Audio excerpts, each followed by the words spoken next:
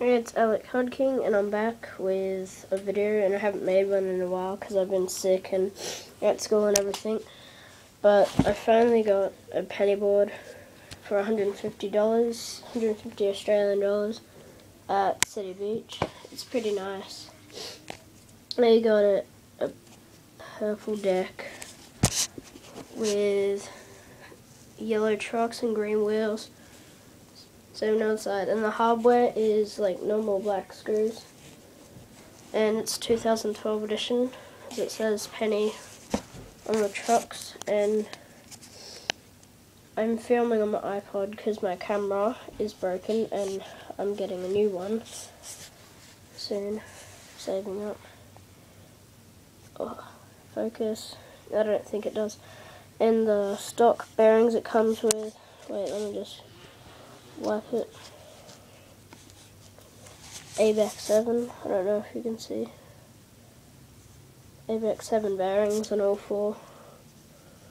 Yeah, and I was riding it the other day and I got this on it, but a lot more on other wheels. And I was wondering how you get it off because I've used a knife but I cut it cut myself. And I probably sound really stupid but I can't get it off. Really hard and I don't want to damage the wheels the soft green wheels. Yeah.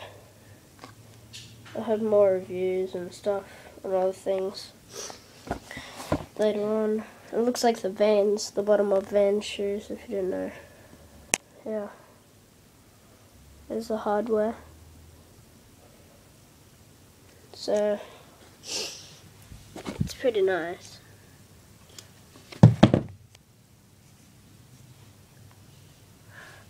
Oh, this isn't the nickel, this is just a normal penny.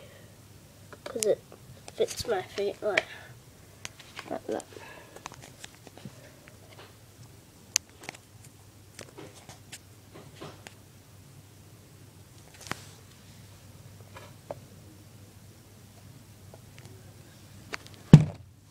Oh, and the bushings are yellow.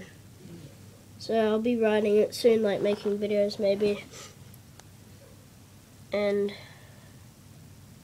yeah, so and if you're wondering like the intro thing, how I got it on my iPod is this app called Splice. I'll have it in the description if you want to make videos and you don't need a camera, you just need an iPod touch with a camera.